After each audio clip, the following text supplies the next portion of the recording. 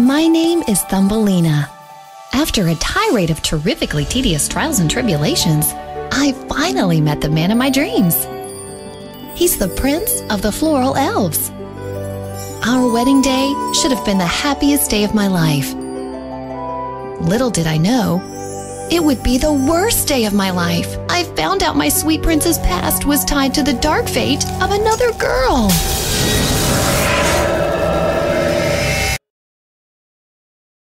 Of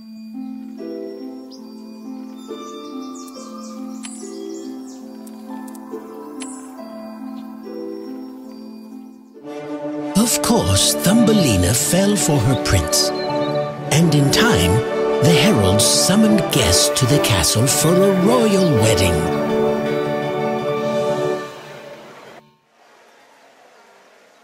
The wedding celebration was in full swing when a sinister cloud appeared in the sky.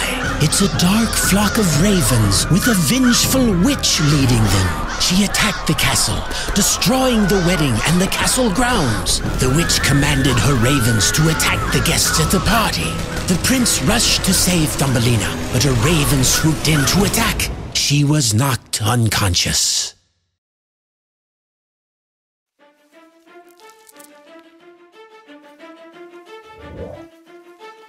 Hello, sweet Thumbelina.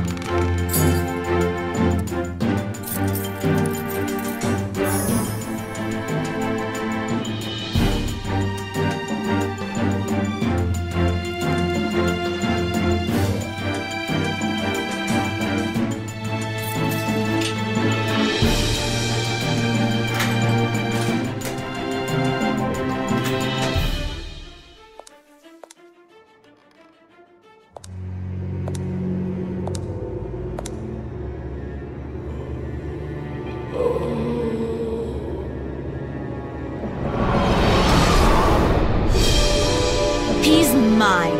Do you understand that? I am the only woman who deserves to be queen of the Floral Kingdom.